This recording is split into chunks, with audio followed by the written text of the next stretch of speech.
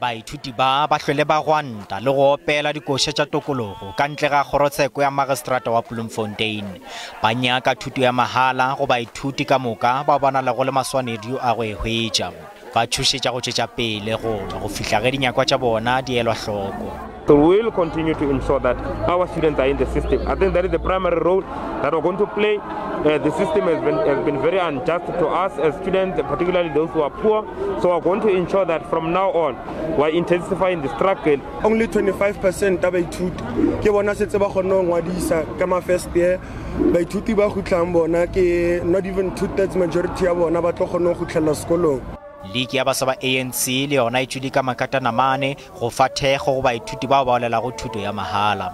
Tshegetsa mokgatlo wa sasco haholo le baithuti ba university ya freestat ka boipeeletso ba bona le mogantong wa bona mabapi le go ba fumane thuto ya mantlha.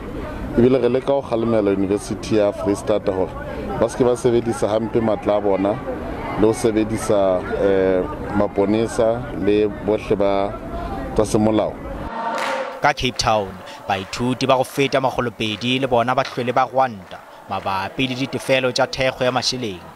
Baithuti ba re ba ya go swara sedulela go fihla ge bolaodi bja yunibesithi bo bolela le bona UCT has set aside around 30 million for this purpose. Any student who is academically and financially is, uh, eligible at UCT should and must have been assisted through this process.